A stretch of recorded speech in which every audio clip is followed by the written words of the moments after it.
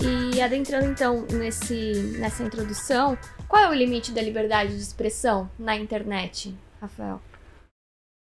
Eu sou um defensor da liberdade geral, né? É, eu sou um, liberal por natureza em todos os aspectos. Eu penso que a liberdade de expressão não tem limites, tem consequências. A gente querer cercear a manifestação de qualquer pessoa previamente nada mais é do que censura.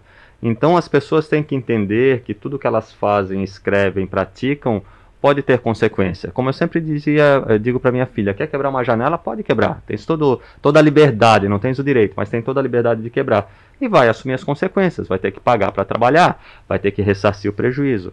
E aqui também, o grande problema da liberdade de expressão, se é que dá para dizer que é um problema, talvez o grande choque é, de direitos, de princípios, é que quando a gente se manifesta demais, corre o risco de afetar a imagem de outra pessoa. E aí, nesse conflito, a gente tem que verificar se a pessoa ultrapassou algum limite em relação à imagem, à personalidade dessa outra pessoa, ou se ela está apenas manifestando uma opinião dela, que por ser verdadeira, pode ser que não tenha nenhum tipo de consequência jurídica, que pode ser civil ou criminal. É, eu acho que hoje a gente vê muito isso é, no Instagram, por exemplo, né, usando uma mídia social aqui como exemplo, que algumas pessoas, eu já vi alguns exemplos de algumas pessoas dizerem para as outras: ah, o teu Instagram é aberto, então eu tenho o direito de, de comentar o que eu quiser. Ele é público, uhum. então você tem que lidar com isso como uma pessoa pública, né? É claro que pessoas públicas e pessoas não públicas é, têm pesos diferentes numa avaliação jurídica. Uhum. Alguém que está em evidência o tempo todo tem que ter as costas mais grossas para tolerar alguns tipos de críticas, e críticas são naturais, ainda que não sejam construtivas, são naturais e fazem parte do crescimento pessoal e profissional. Pessoas que não têm relacionamentos públicos, pessoas que não são públicas por, por suas funções, claro, tem uma restrição maior no, no que se refere à crítica. Ficam mais facilmente melindradas, talvez a doutora Luísa consiga falar um pouco melhor sobre isso embora alguns famosos ou famosinhos fiquem melindrados por qualquer coisa, né?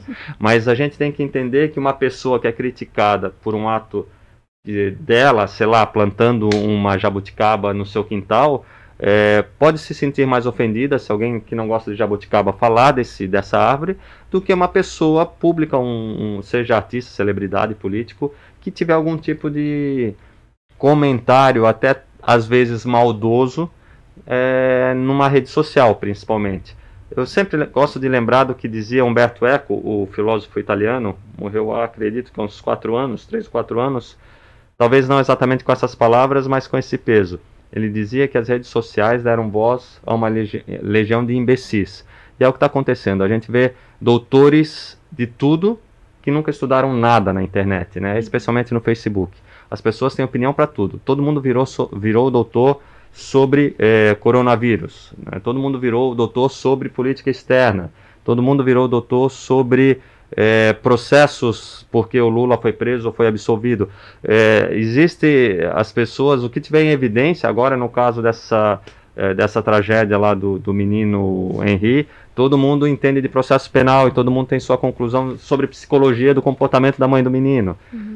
As pessoas viraram doutores em tudo sem nunca, muitas, nem ter aberto um livro na vida inteira. Sim. É, é, eu concordo. E, assim, acaba novamente tomando uma proporção uh, incompatível com a realidade, né? Porque acaba não sendo só uma, uma crítica, uma crítica construtiva, mas sim uma, uma crítica destrutiva mesmo, que é para atacar. Então, passa do ponto. E ninguém está preparado para isso, né? Por mais pública que a pessoa uhum. seja, não tem como ser, o ser humano não ser afetado diretamente por isso.